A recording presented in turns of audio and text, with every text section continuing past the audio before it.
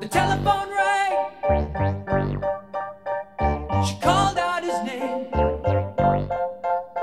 But he'd never listen, so why should he now? When the telephone rang, they both long forgotten the promises made at the start of the road till the telephone rang.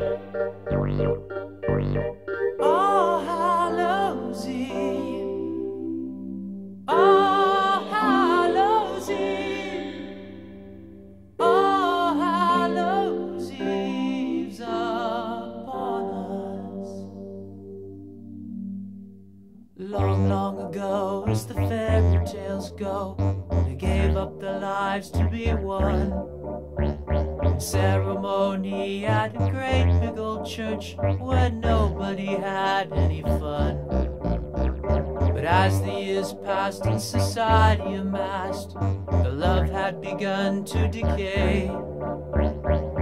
First it was slow, but it slowly gained speed until everything seemed to be falling apart. And there didn't appear to be anything possible until she called up and the telephone rang.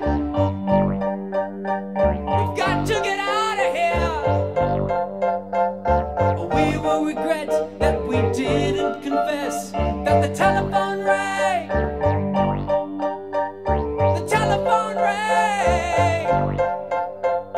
We've got to stop now or we'll never believe that the telephone